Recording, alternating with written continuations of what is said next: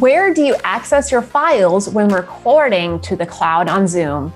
Hi, Taylor here with Financial Potion, where video is your financial potion. And to never miss out on a video, please make sure you're subscribed to our channel and then click on that bell so you're notified every Friday at 5 p.m. Arizona time that a new video has been uploaded.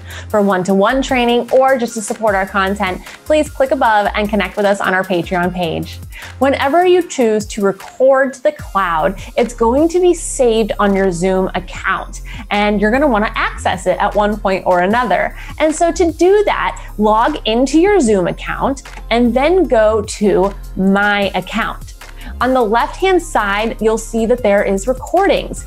Click on that, and then you'll be able to see a list of your recordings. And you can go to the right hand side where it says More, and then choose to download or delete. If you are only saving files to the cloud, you may need to delete from time to time in order to open up more space. And just remember that you simply click on More to then download. You also have an option to click on Share. And then when you share, you can make it passcode protected, and you can then copy the sharing information and then send it via email.